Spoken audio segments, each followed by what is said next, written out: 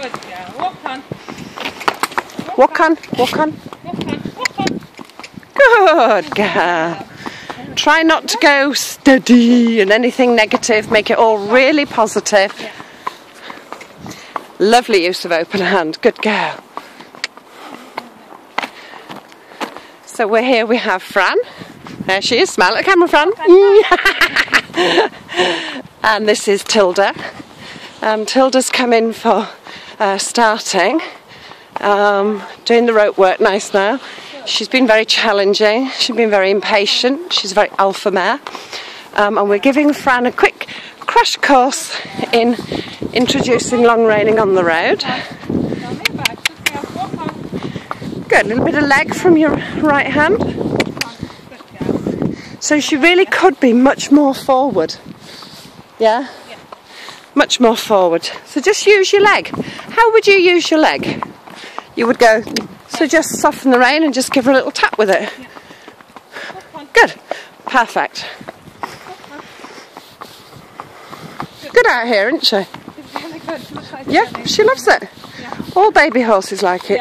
See if you can get closer to her because you're miles away again. Good girl. Walk on. Good girl.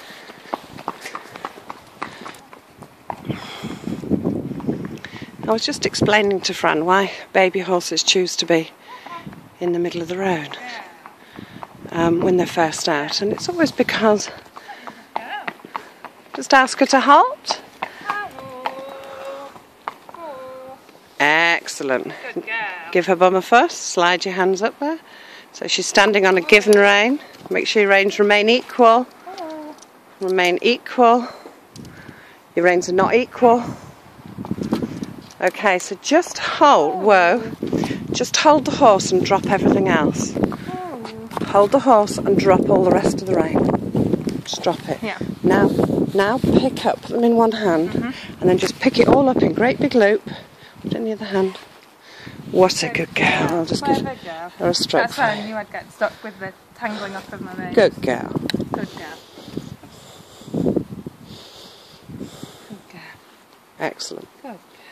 Okay, and then Yes, get yourself organised again, and off you go. You didn't tell her to go, did you? So let's bring her back to a halt. Good. Now sort your reins out so they're the same length. Good girl. Perfect. Okay, off you go. Walk on. Walk on.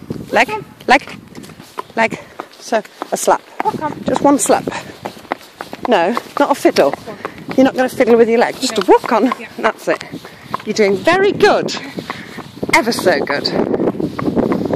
What a good girl. Now, really walking on, you'll start to realise that actually this mare really strides out, and it was only your caution in the first place that just kept her a little bit backward.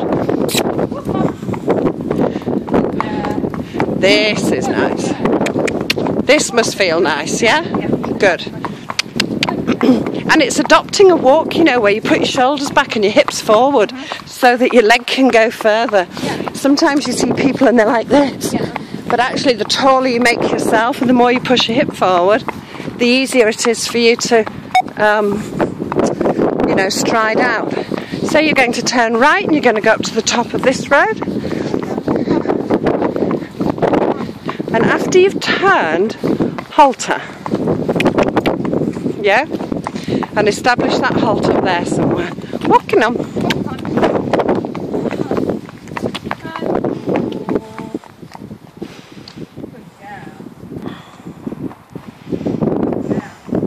Are you feeling a bit more comfortable now? Okay, so these side reins are only very loose, they're only on number seven. We never want to pull horses into a false outline, ever. We want her to walk forward, poll wither haunch outline, really loose, really nice long neck, and just feel. And again, you've got a halt here, it's a road junction. Excellent. Now, she shouldn't know how long you decide you're going to stop for. So sometimes that's a really good.